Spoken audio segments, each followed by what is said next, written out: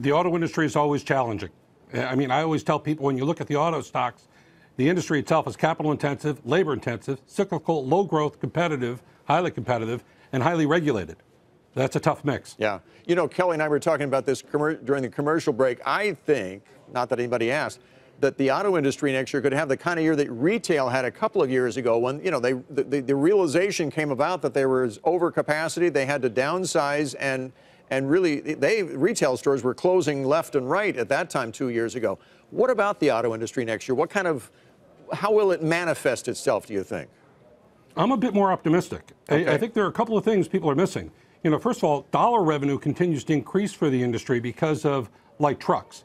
So even though unit sales are kind of flattish this year, dollar revenue's up. You've had the biggest increase in licensed drivers over the last three years that we've seen in 40 years. Hmm. You know, the millennials are now moving into the prime age where they buy houses and cars, and they're buying them like they have in the past. So, contrary to what some people think, millennials are buying cars, they are buying houses. So I'm actually, when you look at some of the other events going on in the industry in 2019, I'm a bit more optimistic than that. I'm your poster child, Michael, uh, for all of that. I'm, I'm thinking more about the Gen Zers who aren't getting driver's licenses at all. So this is all all encouraging news. But you mentioned that light trucks have been a real source of strength. What about heavy yes. trucks? Every time I change the channel, there's oh. another commercial yep. for these you know, worker vans. Um, what's yeah. going? Why is there so much competition? Is this becoming a real lucrative part of the auto market? No question. I, when I look at the commercial side of the business, I include pickup trucks and large vans, and they've gained share in the marketplace now. This would be the sixth straight year.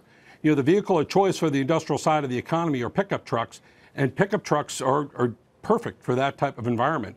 And you've got to have them in our economy. You know, you know, back to the licensed driver issue the, the biggest increase in the percentage of licensed drivers goes from your 20s to 30s. Hmm. And the millennials are following that same track. Typically, you don't have a big high percentage with people in their 20s with a license to drive. So the underlying demographics for the industry are very positive. We cannot ignore the largest automobile market in the world. That would be China. China. And we know that mm. uh, economy has slowed down appreciably. Yeah. What does that do for these guys? Nothing positive about that. Uh, you know, if, number one, you hope you get some resolution to the trade deal. And, and, number two, you know, General Motors and Ford are both in China with self-funded joint ventures, so there's not as much financial risk. In addition, you know, when you look at General Motors, it's going to be a 2 billion after-tax contribution to General Motors earnings, and it, it's on an equity basis, so it doesn't. They're not on the hook for the capital aspect of it. Uh, but the Chinese market, it's been down pretty much further than people expected over the last couple of months you hope to see some resolution and some positive signs. Michael, uh, the only good news is, yeah, is inventory is in good shape in China. Sorry, I, so. I didn't mean to jump in there. I was just going to ask why GM is your top pick for next year. A couple of reasons. Uh, the first one, I, I, think when you look at some of the trends that could take place in 2019, GM's on a higher earnings track than people realize.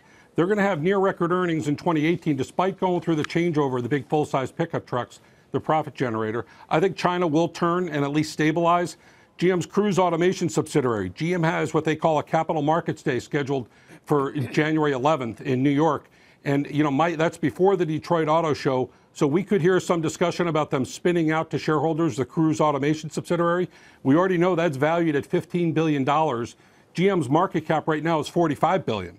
And so if you kind of look at it, it's a net cost to GM as it stands today. You're getting the rest of General Motors at about one times, one and a half times EV to EBITDA. So it's it's after it splits, there's incremental value to GM shareholders.